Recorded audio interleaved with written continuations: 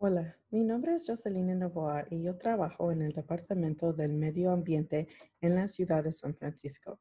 Estoy aquí hoy para hablar acerca de acciones simples que usted puede hacer para mejorar la calidad del aire al interior de su casa y la salud de su hogar.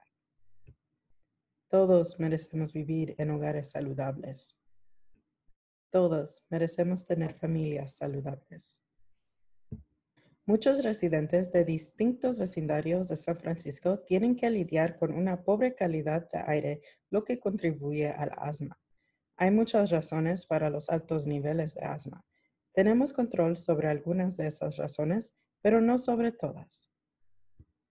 No controlamos las fuentes de polución del aire por tráfico de las calles de la ciudad y de las autopistas. Nosotros tampoco tenemos control sobre la contaminación al aire libre de fuentes industriales. Nuestro hogar es un lugar donde podemos controlar lo que hacemos para hacernos más saludables. ¿Sabía usted que en promedio una persona gasta 90% en el interior de su casa? Hoy vamos a hablar de la contaminación al interior de nuestro hogar y las cosas específicas que podemos hacer para que nuestros hogares sean más saludables. ¿Cuáles cree usted que son las fuentes de contaminación al interior del hogar? Hablemos de los contaminantes al interior de su hogar que pueden ser identificados en nuestros hogares. Una fuente de contaminación del hogar son los ácaros de polvo. Los ácaros de polvo de casa son unos insectos pequeñitos que no podemos ver con nuestros ojos. Ellos se comen nuestro polvo y se desarrollan en el aire humedecido como la neblina de San Francisco. Algunos de nosotros tenemos que lidiar también con molde, el cual puede crecer dentro de nuestros hogares y contaminar nuestro aire. Algunos mojos pueden ser muy peligrosos y causar serios problemas de salud si no son retirados inmediatamente. Las cucarachas, hormigas y roedores, para solo nombrar algunos, son también parte de las plagas con las que tenemos que lidiar no solamente es que son una molestia, sus desechos y los restos sembrados de su cuerpo pueden luego ser parte del polvo que respiramos. Muchos de los productos que usamos pueden ser dañinos para nosotros. Cuando usamos esos productos, tales como aerosoles, para el pelo y para el horno, esos aerosoles crean una delgada capa de químicos tóxicos que directamente contaminan nuestro aire al interior del hogar. Los productos químicos esparcidos ven derecho a nuestros pulmones cuando los respiramos. Los pesticidas contienen una pequeñísima capa húmeda de pesticidas que pueden ser respirados cuando se usan en la casa. Usa blanqueadores o amoníaco o ambos para limpiar su casa Limpiadores de hogar tales como blanqueadores y amoníaco son algunos de los productos que muchos de nosotros usamos para limpiar nuestros hogares. Pero esos no son productos saludables y pueden ser evitados. Y haga lo que haga, nunca mezcle blanqueador con amoníaco porque genera un gas venenoso. Los productos que usamos para nuestros hogares tengan mejor olor o menudo contienen combinaciones de numerosos químicos dañinos para producir un aroma. Si usted puede, lee la palabra fragancia o si hay advertencias de salud como precaución en la etiqueta, entonces hay posibilidades que el producto contenga químicos que no son saludables para usted. Sin ventilación apropiada, el humo de cocinar en su cocina son otra fuente de contaminación al interior del hogar. Ácaros de polvo, mojo, aerosoles y productos del hogar tóxicos pueden gatillar síntomas de asma en personas que tienen asma. En algunos casos, esos síntomas pueden causar asma en personas que nunca experimentaron asma antes. Aquí hay algunos síntomas de lo que puede ocurrir como resultado de su exposición a los contaminantes del aire que acabo de mencionar. Tos o ojos lagrimosos, de repente puede encontrar que falta de aire o podría hacer sonidos sibilantes. Usted podría sentir incluso un poco de náusea, aunque no sienta ninguno de esos síntomas al mismo tiempo. Solo experimentar uno de ellos muestra lo importante que es mejorar la calidad de aire al interior del hogar. Exposición diaria a contaminantes al interior del hogar en un periodo de muchos meses puede llevar a serios efectos en la salud, tales como enfermedades respiratorias y cardíacas.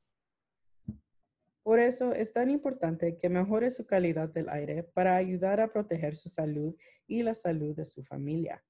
Las buenas noticias es que hoy voy a compartir con usted unas simples acciones que puede empezar hoy mismo para empezar a hacer la gran diferencia en mejorar la calidad de aire al interior de su casa. Primero, mantenga su hogar seco. El mojo crece en lugares húmedos. Asegúrese de secar o pasar un paño seco a las áreas húmedas en su casa. Recuerde abrir las ventanas para que circule el aire fresco en su casa. Tomar estas acciones simples puede ayudar a secar su casa. Remueva las hilas de desorden. Aunque este es un ejemplo extremo, plagas como los ratones y las cucarachas les encantan hacer nidos en el desorden, incluyendo el papel y las cajas limpias. La próxima cosa que puede hacer es mantener regularmente los pisos y los mesones limpios. Barra las migas y pase un paño para secar la grasa de manera que si no se atraiga plagas. Busque libre de aromas o fragancias lo más que pueda. Recuerde, esencias fuertes pueden gatillar asma o causar otras reacciones físicas. Y finalmente, evite limpiadores que contienen amoníaco, blanqueadores o fragancias fuertes. Las buenas noticias es que hay productos más seguros y alternativas para mantener su hogar limpio y saludable. Por ejemplo, tenemos el limón. ¿Sabía usted que el jugo natural de limón le da a su hogar un olor fresco sin químicos hechos por el hombre? También corta la grasa. Use un trapo de microfibra cuando sacuda el polvo, lave el piso o limpie los mesones. Esos baños son reusables y son como imanes para el polvo y la suciedad. Por ejemplo, en lugar de usar limpiar vidrios, usted puede simplemente limpiar el vidrio o espejo con un paño microfibra. El bicarbonato puede servir para limpiar el lavaplatos. Como eliminador de olores y con una escobilla y un poco de trabajo, puede también remover la espuma de jabón. ¿Sabía que una barra de jabón puede ser usada para más que solo lavar los platos? El jabón sin aromas y el agua es a menudo más seguro y la mejor solución. Compre una barra de jabón sin aroma en lugar de jabón con aroma. Una mezcla de jabón y agua tibia puede ser usada para todo tipo de cosas. Mata hormigas y cucarachas al simple contacto, remueve el mojo de las superficies duras y mata los gérmenes. Agua y jabón son nuestros mejores amigos para matar los gérmenes. Recuerde que cuando remueve la suciedad, usted remueve los gérmenes que se pegan a la suciedad. Así, en la mayoría de los casos, usted no necesita blanqueador o otro desinfectante. Trate de usar un producto que tenga agua oxigenada. No sea víctima del lavado verde. El lavado verde es una estrategia de marketing que algunas compañías usan para convencer a los consumidores que sus productos son verdes o naturales. Ellos pueden incluso hacerlos aparecer verdes para dar la sensación que son seguros y amigables con el medio ambiente, pero algunas veces no lo son. ¿Cómo puedes saberlo? Bueno, no es fácil. Mire la etiqueta. La mayoría de las palabras en productos tóxicos son precaución, peligro, veneno y advertencia. La etiqueta EWG Verified para cuidado personal y productos de limpieza del hogar significa que el producto cumple con los estrictos estándares del Environmental Working Group. Safer Choice muestra que el producto cumple con los estándares de la EPA Safer Product Standards y no contiene ninguno de los químicos que preocupan a EWG. Las plagas también son fuentes importantes de contaminación al interior del hogar y contribuyen al asma. Aquí tenemos lo que hay que evitar. No use aerosoles y nebulizadores al interior de su casa. Los aerosoles son normalmente usados para hormigas y cucarachas. Los nebulizadores son usados normalmente para plagas y garrapatas. Estos productos esparcen una delgada capa tóxica de pesticidas dentro del aire y a través de su casa y se van a meter en sus pulmones o quedarse en sus muebles y pertenencias.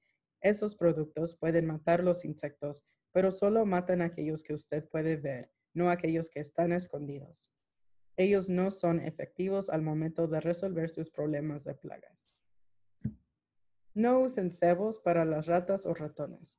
Ellos son pellets envenenados que pueden matar o enfermar a los niños, sus mascotas y los animales salvajes también. La tiza insecticida es un tipo pesticida ilegal. Puede ser dañino para los niños que por error lo usen para dibujar y para las mascotas y vida salvaje que se lo pueden comer por accidente.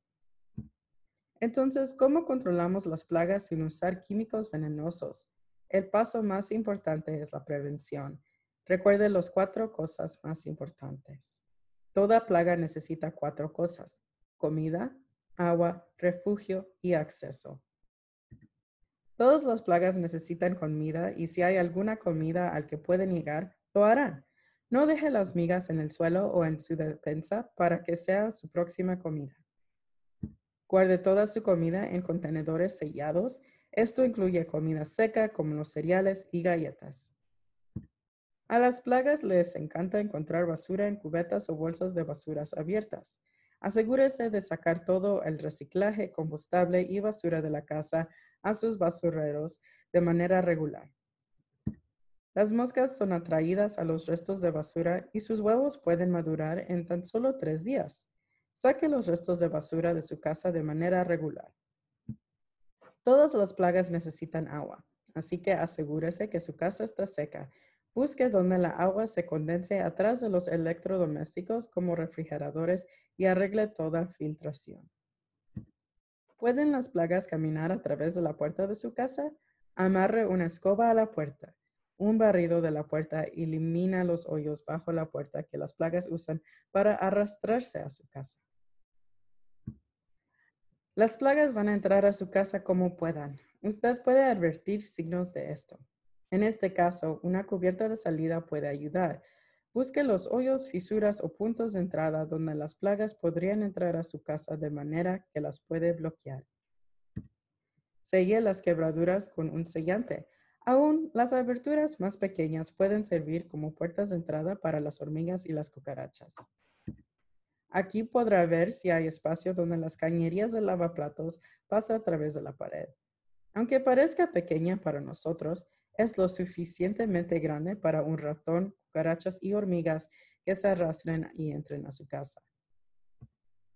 Cierre todo tipo de hoyos con su anillo de acero que calza alrededor de la cañería. Pregunte en su ferretería por un chapetón. Entonces, usted ya ha hecho todo lo posible para prevenir las plagas que entren a su hogar, pero ¿qué hacer si las plagas ya están viviendo adentro? Un método clásico para agarrar los ratones es la trampa para ratones. Instálelas cuidadosamente y póngalas al ras contra las paredes donde los ratones pueden escalar. Mantenga las trampas lejos de los niños y las mascotas. Si tiene problema con las moscas, use el clásico matamoscas. Este es un método barato que no usa químicos. Usted también puede usar cinta para moscas. Es pegajosa y las moscas no se pueden escapar. Solo recuerde que estas herramientas no van a resolver sus problemas con moscas. Usted necesita encontrar la fuente de las moscas y librarse de ella. Use pesticidas seguros como última alternativa. Use cebos para hormigas y cucarachas, ya que son seguros y muy efectivos para matar hormigas y cucarachas. Esos insectos son atraídos a los cebos, se comen el veneno y luego sobreviven lo suficiente para pasar el veneno a su colonia. Después que los insectos mueren por el cebo, los insectos aún vivos se alimentan de los muertos y se mueren también. Esos cebos son más seguros porque usan una dosis menor de pesticidas y pueden ser puestos en lugares escondidos en la casa que no sean de fácil acceso a los niños y mascotas. Ahora que hemos hablado de un control más seguro de plagas y limpieza, Hablemos acerca de lo que usted puede hacer para productos tóxicos del hogar viejos de los que quiere librarse. Estos productos no pertenecen a ninguno de los contenedores de basura que tiene. Usted puede hacer una cita para que retiren de su casa los productos llamando al Recology's Home Collection Program al 415 330-1405. Todo residente tiene derecho a que le hagan hasta dos retiros al año. O también puede llevar hasta 15 galones de productos tóxicos por viaje a las instalaciones de descarga libre de Recology's Household Hazardous Waste Facility. La instalación está ubicada en 501 Tunnel Avenue. Tenga en cuenta que solo está abierta los jueves, viernes y sábados de las 8 de la mañana a las 4 de la tarde y usted necesita traer alguna prueba que es residente de San Francisco. Usted puede usar su licencia de conducir, cuenta de servicios básicos o su recibo de pago de impuestos de su propiedad.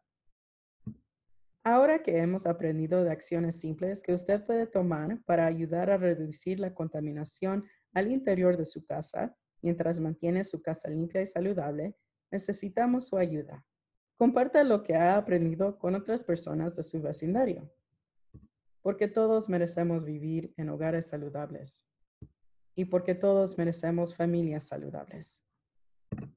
Gracias por escuchar. Si tiene alguna pregunta, por favor contacte Sierra Pringle, la encargada de reducción de tóxicos residenciales a 415-355-3757 o por correo electrónico a sierra.pringle.sfgov.org.